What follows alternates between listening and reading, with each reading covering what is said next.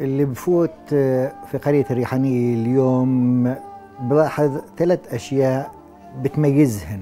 الهدوء في القرية نظافة الشوارع والقرية والبيوت والجناين اللي حوالين البيوت اللي بتميزهن من باقي القرى.